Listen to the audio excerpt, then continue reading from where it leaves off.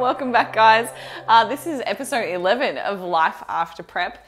And oh my gosh, I was sitting here and I'm like, Layne, what do I talk about?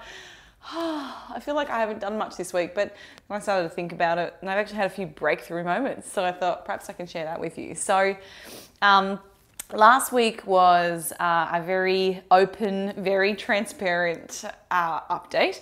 Uh, I talked to you guys about, I guess, my epic mini cut fail and, you know, some of the challenges that I had, um, you know, with regards to dieting so soon after my last contest prep uh, and the challenges, I guess, that I have faced kind of since then and up to this point. So last week we kind of, I put my big girl pants on and was like, all right, well, mini cut wasn't probably the right thing to do now. So let's get back on the reverse diet um, bandwagon. So I guess the intention for me right now is to kind of suck it up, just deal with a little bit of weight gain um, since my show, and just keep progressing and think about you know the long games. So um, I was kind of deciding this week whether or not I was going to increase my calories, and I think I really should. Uh, I kind of looked at it relatively objectively and imagined what I might say to a client of mine. And uh, this is probably the right decision. It's not what I really want.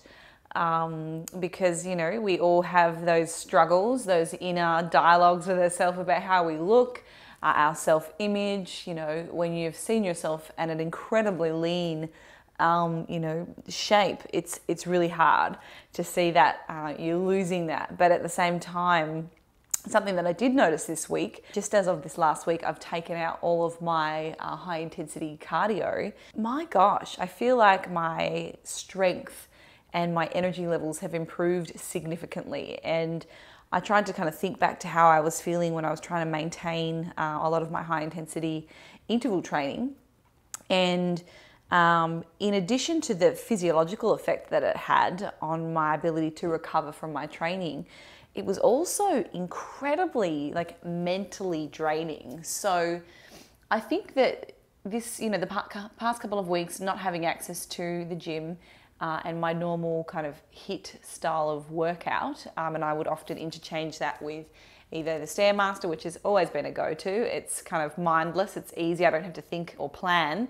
I can just get on there, ramp it up, and just go for it and sweat a bunch.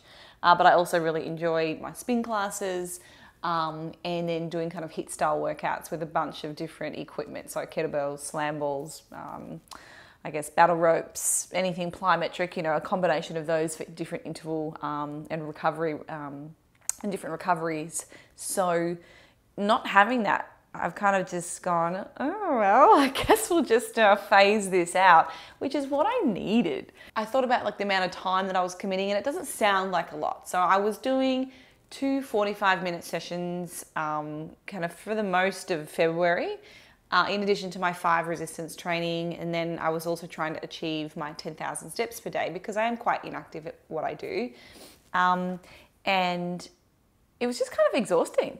It really was. And yeah, this, this last week, I kind of was thinking about why I was starting to feel more positive, and I think a few, like Layne had noticed, couple of other people that we kind of see on a day to day basis for work um, have said, oh, you can see a bit of an improvement in your persona and your mood. And I was like, why is that? And in addition to, you know, starting work with um, the psych last week, and I'm actually going to be having my second um, session this week um, with this new therapist. So I'm really looking forward to that.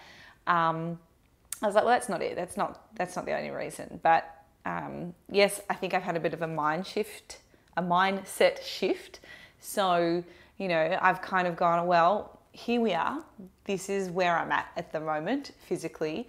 There's not really much I can do about it. I don't think the well the amount of effort that would be required to kind of get back to where I was um, would require another really almighty effort. And it's not. I thought about it, and it's not really my priority. Like we were out on the boat the other day on the weekend we had the kids and um, there's just no one around for days. It's like still water, the sun is out, it's just beautiful. We've got like lunch um, packed for the day. We're going out to like a you know a nice isolated you know location, and it's just us. And we had our nanny with us as well. And I was thinking to myself like, right now I feel completely free. Like just not a single thing was running through my mind when it came to like my body composition or my training. And I was like, God, I wish I could have this more. Um, you know, and I think when you are constantly kind of surrounded with uh, competitors and um, people that are in fitness and people that are competing, and you kind of are seeing that all the time, um, it does put a lot of pressure on you. And uh, I think kind of just taking a step back from that on the weekend, and we've been out on the boat a few weekends now because it's coming out nicer weather, of course, moving into summer. Well, it's actually spring here, but it feels like summer. It's that freaking hot. Yeah, I guess we've been doing a little bit more like boating and just being out in the nature. um, and I completely just forgot about it. And I was like, oh, maybe that's why I'm feeling good. So I think that was a bit of a breakthrough moment for me. It's happened twice now, and it's really helped my mind, my mindset when I've been kind of in the gym training, and you know, outside of seeing um, you know my HIIT training decrease, that has also um, played a big part in a positive way in how I've been recovering from my resistance training sessions. So Yes, we've been um, training at home. Um, we do have a great home setup, so I've still been able to do quite a bit of like heavy loaded lifting. So my deadlifts, trap bar deadlifts, squats, you know, hip thrusts. I can still do all that because we have all of the weight plates. Um, but I have felt so strong, and I can see it's almost like an, an, immediate change. I have seen the amount of improvement in my uh, body composition. I think just because I haven't had all of this, you know, high intensity interval training interfering with that recovery, uh, and then also my energy levels in training, and also the uh, psychological, my mentality, my approach to those training bouts. Like I've been able to go in and actually really focus because I'm not thinking or dreading the fact that oh I've still got to do like some more HIIT training. So I think it's had a um, a myriad of different positive effects by taking all of that out. So yeah, I was saying to Layne this morning, it's like, yes, I think I'm actually seeing some positive like muscle like hypertrophy already just since, since taking that out. I know it sounds crazy, um, but you know, I have been, I can see what my body is doing and I have watched myself change over the years. And yeah, I think it was kind of what the turning point that I needed. So that being said, I think um, if you are somebody that has kind of been in a similar position where you've been super shredded, really, really lean, um, I think uh, hopefully you get to a point where you can have that feeling that I had like the other weekend. It was like, oh, this is so liberating. I'm not thinking about it at all. It's amazing. So freeing. And now it's not really, you know, of course I have the desire to get back to that again, but now my focus has kind of shifted to, okay, well, Let's work on building some more muscle. We know that, you know, legs, lower body, quads has been my focus. And um, that's what I'm going to do until I decide to, compete again. So um, I don't know whether, like, I've been toying with the idea of competing again this year. And one of the pressures, I guess, of being, um, uh, you know, a professional athlete and in the WBFF organization is that you do need to compete yearly, um, one show per year at least, to uphold that stature. And um, yeah, I feel like I, I know how much effort I had to put in to kind of get there. And then if I don't compete this year, then it's gone again. And I have to go back to amateurs. So I've actually contacted the guys today and just asked, you know, with everything that's going on, like how strict and how rigid are you holding that requirement for athletes, just given the circumstances of, you know, um, the globe at the moment. So I'll be curious to and very interested to see how um, they're going to handle that. I would like to compete again, but I just know that it's not necessarily the best thing for um, my body, like from a physiological standpoint, from a hormonal standpoint. Like it's taken me eight months to get my menstrual cycle back. And who knows if I get it again regularly this month. I might skip it again. I don't know. But I think based on my body composition, at the moment. I think I'm probably back to that, you know, healthy uh, body weight that would enable me to get my cycle again. And a few people have been like, oh, family planning. have you considered having kids? So there's so many things to um, think about and like structure in my mind. And I'm also very business focused. So it's like, oh, I don't know what I want to do. I really don't. I have no idea. So hey, if you guys have suggestions, give me some, give me some thoughts, give me some help. But anyway, um, I guess I'll wrap this up. But I think this past week we had a, we've had a great week of training. Uh, like I said, awesome sessions without all of the cardio kind of intervening, not only from the recovery but the um, psychological um, I guess, demotivation. And it was just, I wasn't enjoying my workouts because I felt like I was just occupied with so much time in the gym and having to exercise.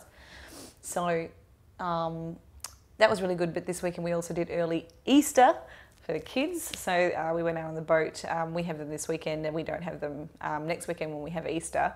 So um, we thought we'd do it early. So Easter Bunny came this weekend. We did a big uh, Easter egg hunt and uh, did some cooking with the kids on Sunday morning and uh, we'll quickly run over my macros for the weekend and you will see.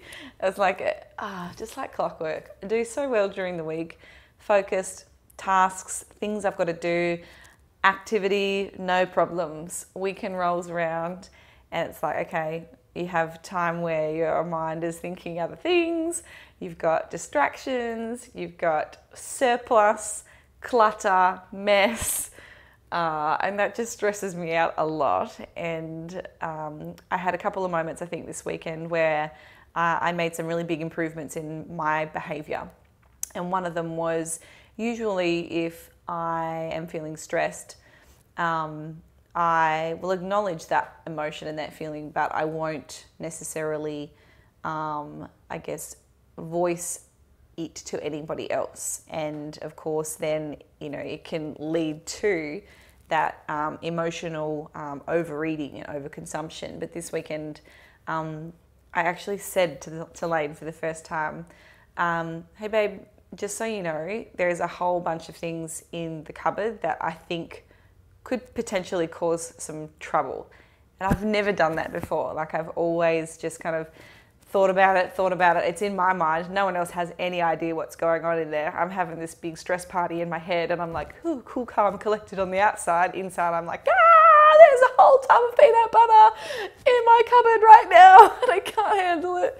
So, yeah, I actually told him about that. And he was like, you know, I'm really proud of you for doing that because previously you would have just stayed there. No one would know otherwise. And then you'd probably eat, uh, you know, a good I don't know, 200 grams of peanut butter, and then that's your day done.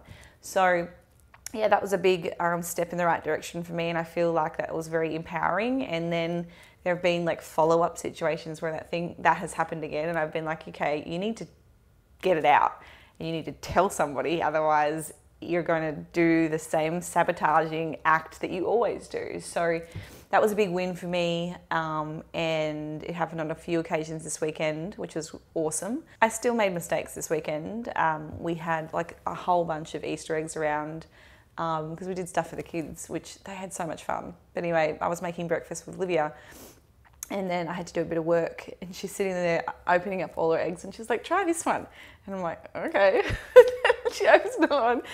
Try this one, and I'm like, "Oh, okay." So I must have like, oh, I don't know, can't think, but I, I tracked it as best as I could. You'll see when we have a look at my data. But I just was like mindlessly, well, not mindlessly. It was a, it was intentional, but I was like, oh, I can't say no to her. She's like trying to feed me. That's like an act of love. I didn't do things perfectly this week, but I certainly feel like I made a massive improvement on, you know, handling that situation and also not let, letting myself ruminate on it for too longer a period afterwards. So I kind of said to Layne, oh yeah, well, I've just downed a thousand calories uh, and it's not even 10 a.m. Do you feel like going for a bike ride later? So rather than kind of stressing about it, letting it worry, worry me, um, yeah, we just kind of took the kids out, went for a bike ride in the afternoon. We bought them a um, trundle for Easter so we can take them for a ride, and their bikes are coming next week. New bicycles for the kids. so, um, yeah, I think that was a really positive step in the right direction for me insofar as not just flipping the fuck out um, and kind of getting on with it. So, yeah, I feel like things are progressing in the right direction. So anyway, let's go and have a look at my macros, and I'll tell you what I'm going to do for this week uh, as we move into. Uh, I think it's about week 16 of my actual reverse diet. So striving to increase calories. So uh, we'll see where we're at. All right. So um, it was. It's been 18 weeks since I uh, finished my show. It's crazy, and uh, yeah. So this was week 15, I guess, of an actual reverse because three of those weeks were attempted mini cuts. Fail. So last week I started. I kind of did a bit of a reset and just wanted to have um, something that was a little bit more manageable for me to adhere to. So uh, we took my calories up uh, by a little bit. My goal, if you can look here on the screen that I'm highlighting, so I was going to have two high days for the weekend um, with 185 and 60 uh, fats, and then uh, five lower days. So um, 145 and 45 uh, during the week, which honestly is pretty easy for me to stick to when I have a lot of stuff kind of going on. And literally, I'm getting home at like 8:30 at night most nights, and when I get home, I put everything down and I don't think about anything else and I just like relax.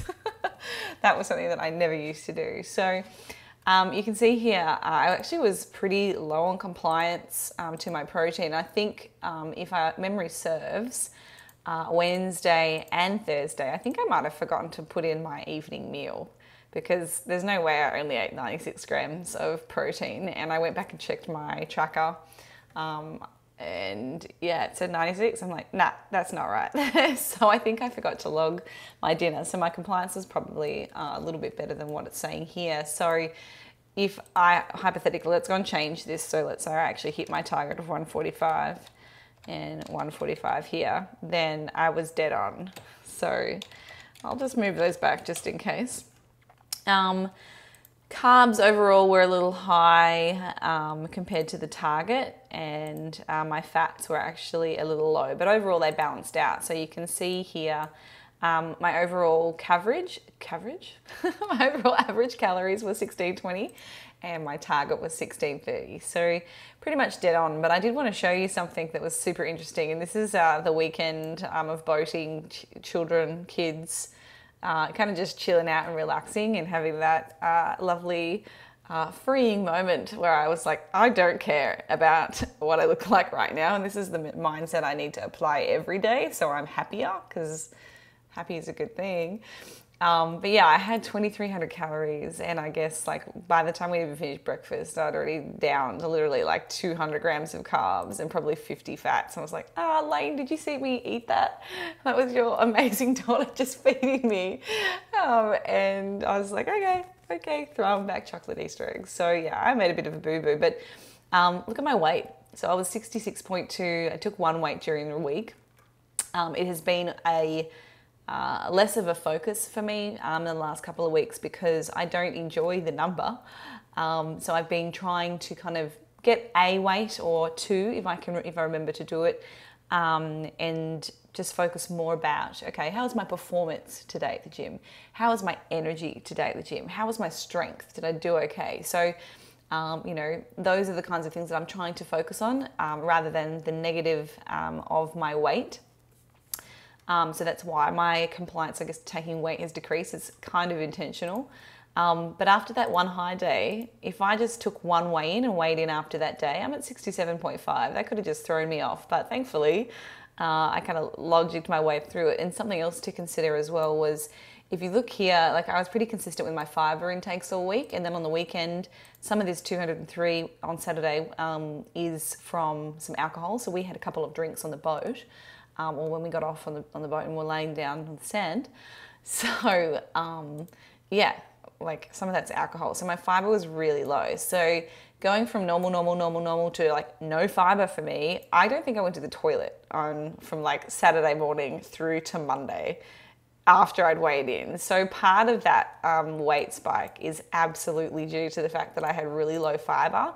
So you know you've got things moving through nice and um, I guess consistently, and then you stop, then your GI kind of slows down too. So um, yeah, I I was not feeling very good on Monday morning when I woke up. Not only was I kind of feeling very you know fluidy, um, you know my muscles were really tight, like I could feel it in my legs because I'd had so many carbohydrates, and then you've got all that water moving uh, inside your cells, but then also feeling backed up and like not having eaten enough uh, fiber was kind of all things going in the wrong direction. So I, you know, I really had to be mindful on Monday, you know, and be positive because I could have looked at that and just gone, throw my hands up in the air and had a really bad day and let it affect me. But I was like, you know what, nah, just gonna get in. I didn't do my squats uh, on Monday like I was planning. I actually swapped uh, my squats out for hip thrusts because my belt would not have felt comfortable and I would have had a terrible squat session. So it made some adjustments to my training to accommodate how I was feeling. Uh, and all my accessory exercises were really good. Um, and you know, I'll throw in my lower body squats uh, probably later in the week when I've had a bit more time to get back and be consistent with my fiber intakes uh, and hit my calories. So yeah, that was the week. So uh, moving on to this current week, uh, I am going to um, do the right thing and continue reversing. So I'm going to take my calories up. So um, we'll do like 160 as an average for my uh, carbs this week and probably 50, you know what, 52. I'm going to go 165. So 1708. So really starting to push those carbohydrates back in. Um, I prefer carbohydrates. That's why I've made that slight increase more in favor of carbs uh, than fats because I don't really eat a lot of dietary fats uh, unless it's uh, Easter eggs and chocolate, which is not normal for me. So yeah, that's going to be the plan, I guess, for this week. Again, I'll probably do some calorie cycling. Uh, I'll go slightly lower uh, in the week, and then I'll have a couple of higher days on the weekend. Um, but obviously, this weekend there will be uh, no temptations for Easter eggs, and um, hopefully can practice a little bit more of the strategies and the techniques that I go over on Thursday uh, with the psychologist. So I'm really pumped for that um, and happy to start kind of making um, some improvements uh, in that area of my life. So, yeah. So, guys, um, thank you so much for watching. I hope that you found this uh, valuable. Hopefully, you can apply some of these, um, I guess, emotions or feelings, these changes um, to your own situation and um, grow as a person. I know I got a lot of positive um, comments last week from people saying, you know, that they appreciate the uh, transparency and the openness about, you know, things not always going to plan and being super easy. So, yeah, hopefully, uh, the things that have happened to me this week, um, some of the situations with the HIIT cardio, the exercise, the training, um, you might be able to relate to that and um, apply some of those changes to your situation and see if you do feel um, the positive effects, I guess, of reducing all the cardio and making some of those kind of positive changes. Have a great week, guys. Enjoy quarantine. We're still in quarantine until like May, so we still have quite a few weeks ahead of us. But um, guess we're all in this together, and uh, I will see you at my next update.